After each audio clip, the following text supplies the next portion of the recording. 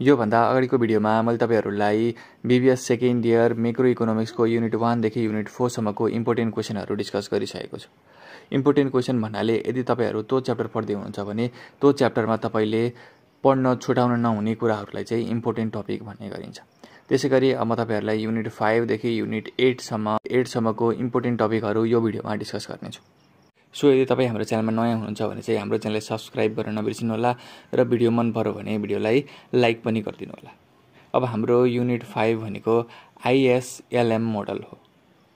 यो तपाईँको एक्जामको लागि निकै नै इम्पोर्टेन्ट च्याप्टर हो। यानि तपाईँ यदि न्युमेरिकलको कुरा गर्नुहुन्छ भने यो च्याप्टर न्युमेरिकलको लागि दस अथवा कहिलेकाहीँ दुई मार्क्सको लागि पनि एक्जाममा सोध्ने गरेको पाइन्छ। न्युमेरिकल के टपिकसम्म सम्बन्धी सोध्छ त भन्दाखेरि तपाईँहरूलाई compute equilibrium output and rate of interest सम्बन्धी चाहिँ न्युमेरिकल यो च्याप्टरबाट सोध्ने गरेको पाइन्छ। यसको मतलब तपाईँले आइएसएलएम मोडल युज गरेर चाहिँ इक्विलिब्रियम आउटपुट र रेट अफ इन्ट्रेस्ट चाहिँ यो च्याप्टरमा निकाल्नुपर्ने हुन्छ। त्यो भयो अब न्युमेरिकल पार्ट थ्योटिकल पार्टको लागि पनि यो च्याप्टर निकै नै इम्पोर्टेन्ट छ। टु थाउजन्ड सेभेन्टी सिक्स अथवा सेभेन्टी थ्री सेभेन्टी फोरको कुरा गर्ने हो भने त्यहाँ तपाईँलाई वाट इज एलएम कर्भ भनेर सर्ट क्वेसनमा सोधिएको थियो। त्यसै गरी लङ क्वेसनमा टु थाउजन्ड सेभेन्टी सिक्समा तपाईँलाई डिराइभ एलएम कर्भ भनेर सोधेको थियो। यानि त्यो तपाईँलाई दस मार्क्समा सोधेको थियो। त्यसै गरी यो च्याप्टरबाट थ्योटिकल अर्को इम्पोर्टेन्ट क्वेसन भनेको how is product market equilibrium derive explain with the help of IS curve भनेर पनि तपाईँलाई यदि थ्योटिकल पार्ट सोध्यो भने यी क्वेसनहरू सोध्न सक्छ। यानि तपाईँ यदि यो च्याप्टर पढ्दै हुनुहुन्छ भने फर्स्ट कुरा के ध्यान दिनु पऱ्यो तपाईँले न्युमेरिकललाई चाहिँ फोकस गर्नु पऱ्यो यानि त्यो न्युमेरिकल दस मार्क्स अथवा दुई मार्क्सको लागि पनि सोध्ने गरेको पाइन्छ। यानि मेनली चाहिँ तपाईँलाई दस मार्क्समा यो च्याप्टरलाई सोध्न सक्छ भनेर तपाईँले प्र्याक्टिस गर्नु पऱ्यो कहिलेकाहीँ दुई मार्क्समा पनि सोध्ने गरेको पाइन्छ।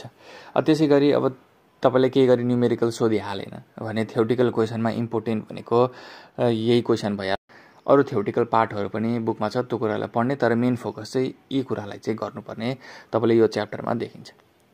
त्यसै गरी अब युनिट सिक्स भनेको हाम्रो इन्फ्लेसन एन्ड बिजनेस साइकल हो।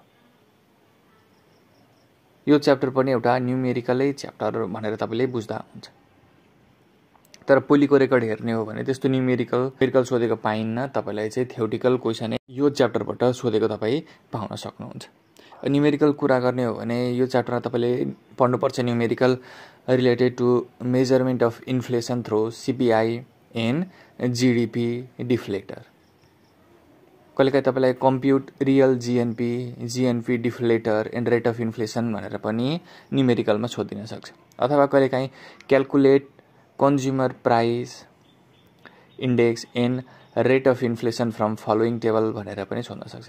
यहाँनिर तपाईँले जुनै पनि च्याप्टरको यदि न्युमेरिकलको कुरा गर्नुहुन्छ भने न्युमेरिकल सधैँ तपाईँले के गर्ने त बुकको एक्जाम्पलबाट चाहिँ मेनली प्र्याक्टिस गर्ने।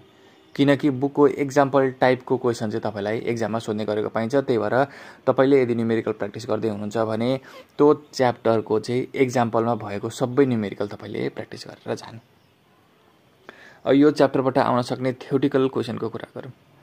थ्योटिकल लङ क्वेसनको कुरा गर्ने हो भने तपाईँलाई त्यहाँ explain the demand pull inflation with suitable example what are it causes भनेर सोध्न सक्छ। किनकि तपाईँलाई यो क्वेसन टु थाउजन्ड सेभेन्टी फोरमा पन्ध्र मार्क्समा सोधेको थियो भने टु थाउजन्ड सेभेन्टी थ्रीमा दस मार्क्समा चाहिँ सेम यही क्वेसन सोधेको थियो।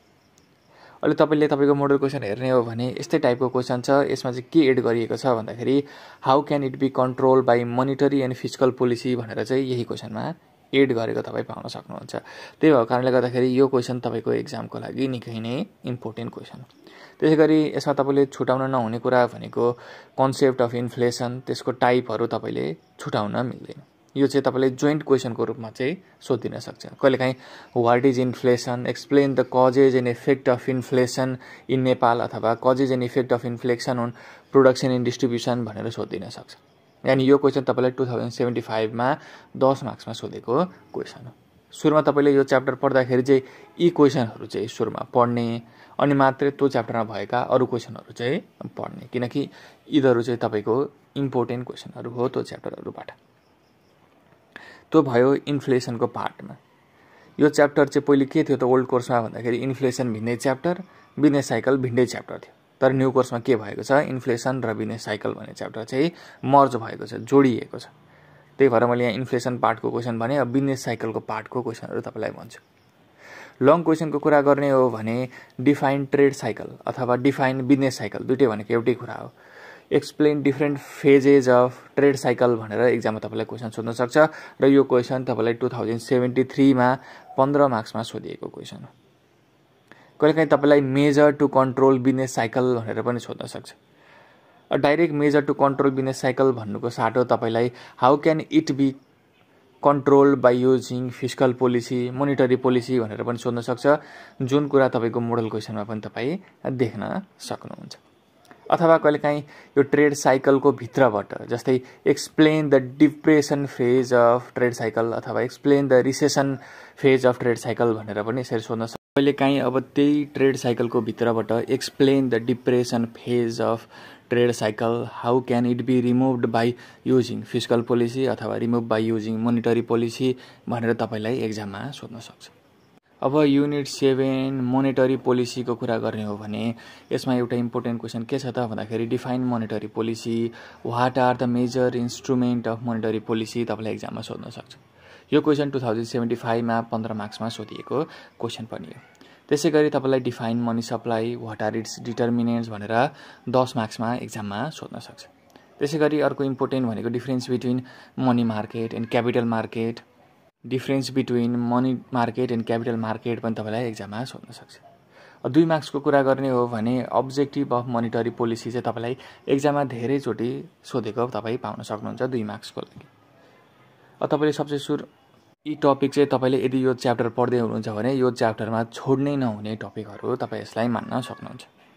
अब आउँछ युनिटेड गभर्मेन्ट फाइनेन्स अब तपाईँलाई यसमा चाहिँ सबसे इम्पोर्टेन्ट टपिक भनेको चाहिँ what is physical policy what are its objective तपाईँलाई यो एक्जाममा टु थाउजन्ड सेभेन्टी फोरमा सोधेको क्वेसन पनि हो।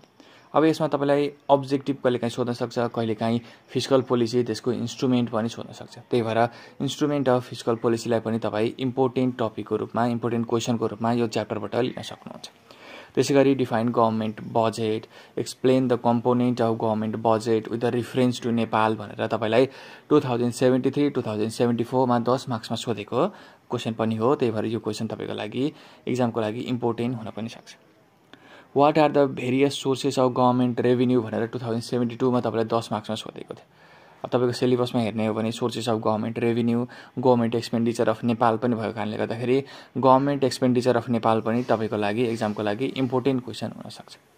त्यसै गरी सर्ट क्वेसनको कुरा गर्ने हो भने what is budget two thousand seventy सिक्समा सोधेको क्वेसन हो deficit financing deficit financing two thousand seventy फाइभमा सोधेको सर्ट क्वेसन हो objective of physical policy two thousand seventy टूमा सोधेको सर्ट क्वेसनहरू हो।